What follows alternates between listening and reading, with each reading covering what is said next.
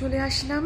আজকের যে ভিডিওটা আমি করব বলেছিলাম হাতে সময় খুবই কম তাও একটু সময় পেলাম। আচ্ছা একটা কথা শুরুতে বলে দিই আমি। এই যে আমি ভিডিও আমার যখন ভিডিও কথা বলি তখন আমি একবার একবার রিল করে পাঠাই একবার যারা দেখতে চান তাদের জন্য কমপ্লিট ভিডিও পাঠাই। তো this two forms um, you know, my conversation একটা রিল ফর্মে একটা ভিডিও ফর্মে এ দুটোই পাঠানো হয়। যারা দেখতে চান, যারা যারা বেশি সময় পান না, তাদের জন্য রিল যারা একটু বেশি সময় পান, যা যারা বা যারা সাবস্টেন্স বোঝেন, তাদের জন্য কমপ্লিট ভিডিও সো আমি একটু ক্লিয়ার করে দিলাম। যাই হোক, আমি মূল বক্তব্যে আসার আগে একজন বৃদ্ধা মায়ের আবৃত্তি করা একটি কবিতা পড়ে শোনাই। বাবুই পাখিরে ডাকি, বলিছে চড়াই, কুড়ে ঘরে থেকে করো শিল্পের বড়াই। আমি থাকি মহা সুখে অট্টালিকাপুরে। তুমি কেন কষ্ট পাও এই রোদ বৃষ্টি ঝড়ে? বাবুই হাসিয়া কয়, সন্দেহ কি তাই? কষ্ট পাই তবু থাকি নিজের বাসায়। নিজের বাসায়। পাকা হোক তবু ভাই, পরেরও বাসা।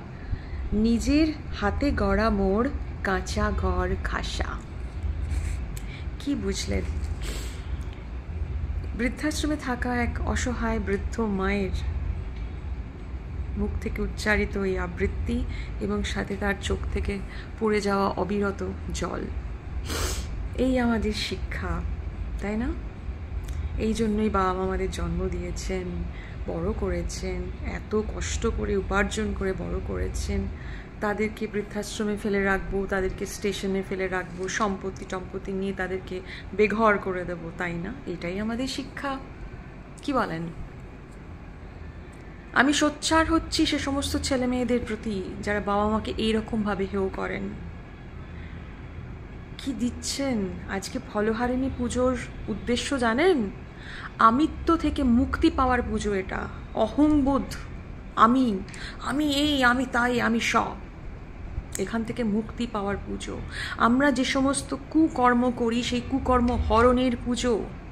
আপনারা যে কর্ম করছেন, সে কোন মা হরণ করবেন? আপনাদের এই পাপ কোন মা বয়ে চলে, চলবেন? কোন মাকে পুজো করবেন? তারাপীঠ? দক্ষিণেশ্বর? কোন পিঠে যাবেন? কোথাও মুক্তি পাবেন না। নিজের বাবা মাকে এইভাবে হেও করছেন? যান গিয়ে দেখুন বৃদ্ধাশ্রমের ভিডিওগুলো। খারাপ লাগবে, চোখ যদি এখানে কিছু থাকে না, চোখ মানে চোখ থেকে জল বেরিয়ে আসবে। ভুলে যাবেন না, কর্মা কিন্তু বুমেরাঙের মতো ফিরে আসে, আমার বাবা সব সময় বলতেন। Karma, always remember, it comes back to you as boomerang. ঠিক আছে? আপনি যত কোটি টাকা দিয়ে আপনি আপনার ছেলে, মেয়েকে যতই ভালো এস্টাবলিশ করুন না কেন, এই যে কর্মাটা করছেন, যার যে বা যারা এইভাবে বাবা মাকে এইরকমভাবে হেনস্থা করছেন, তারা মনে রাখবেন এই দিন আপনাদের কাছে ফিরে আসতে বাধ্য। এটা আমাদের শিক্ষা। এই শিক্ষা থেকে অশিক্ষিত হওয়া ভালো। ছি ছি ছি, আপনাদের একটুও খারাপ লাগে না?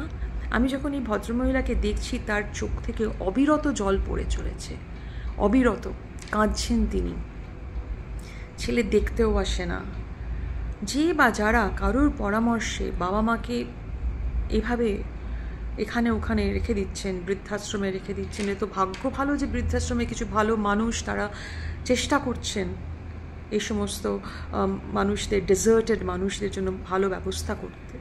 যতটুকু পারছেন তারা করছেন। আর আপনারা যাদেরকে জন্ম দিয়েছে, শিক্ষা দিয়েছে, মানুষ করেছে, নিজেরা নিজেদের পিছনে কিছু অর্থ ব্যয় না করে আপনাদের পড়াশুনোর জন্য ব্যবস্থা করেছে, এই তার পরিণতি? এইটা তো আমাদের কাছেও ঘুরে আসতে পারে। আমাদের যখন আমাদের যখন এরকম একটা বৃদ্ধা অবস্থায় তো আমাদের ছেলেমেয়েরাও তো এই শিক্ষাই ফেরত দেবে আমাদের, না?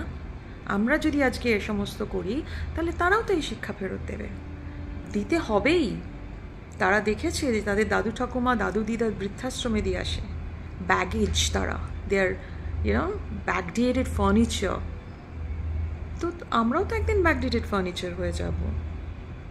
তৈরি থাকুন সেই দিনের জন্য। ঠিক আছে? কিছু বলার নেই আমার।